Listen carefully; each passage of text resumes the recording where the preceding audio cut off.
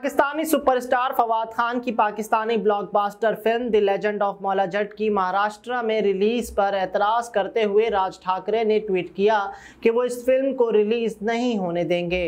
दिल्ली के थिएटर और फ़िल्म अदाकार इमरान जाहिद, जो पाकिस्तान और हिंदुस्तान के दरमियान सकाफती ताल्लुक को बहाल करने की कोशिशों में मसरूफ़ हैं, वो इन धमकियों पर हैरान हैं।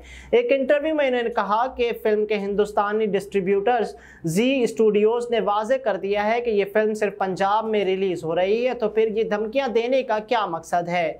इमरान जाहिद का मानना है, ये सब धमकियाँ और दबाव की हमत अमली हमें अमन से दूर कर रही हैं। आर्ट और सकाफत को हमेशा सियासत से ऊपर होना चाहिए। चाहिए उनका कहना था कि मौला जट जैसी शानदार फ़िल्म से महरूम रहकर हम दुनिया को क्या पैगाम दे रहे हैं।